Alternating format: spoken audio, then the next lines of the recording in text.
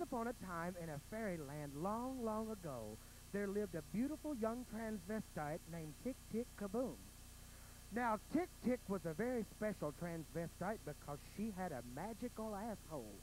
And it was said that all that touched it would turn to gold. In the same land, there also lived a mean, horrible, ugly lesbian named Spike.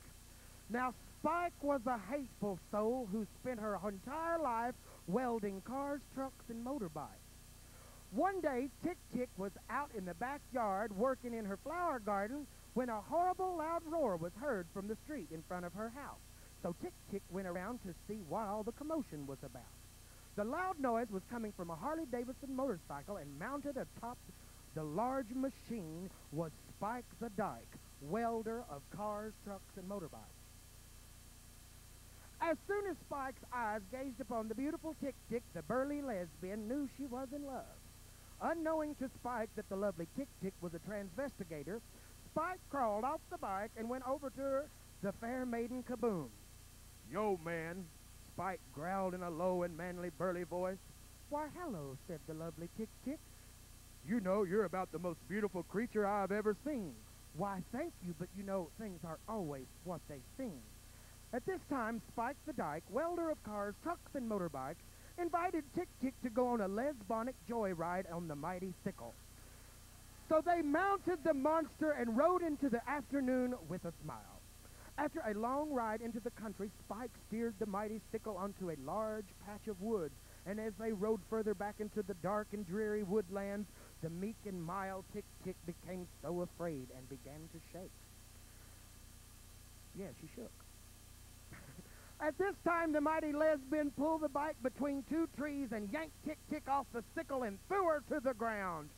Tick Tick screamed to the top of her lungs, What the fuck is going on here? Fuck is exactly what's fixing to happen, said Spike the Dyke, welder of cars, trucks, and motorbikes. At that time, the manly, monstrous lesbian reached into her leather jacket and pulled out a huge 12-inch double-headed dildo and said, Get prepared to ride the donkey, bitch. So Spike the Dyke, welder of cars, trucks, and motorbikes, ripped away Tick Tick's pink polka-dotted poodle skirt to reveal a large patch of silver duct tape. What the hell is this? yelled the hateful bulldagger.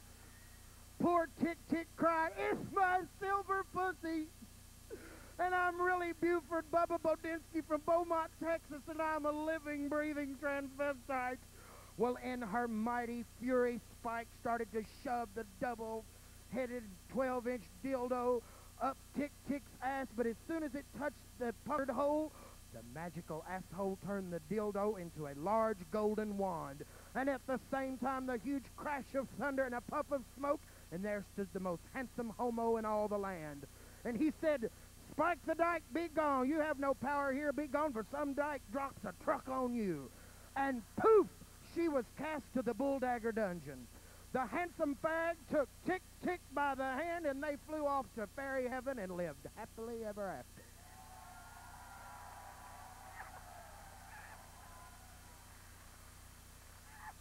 Carmella Marcella Garcia!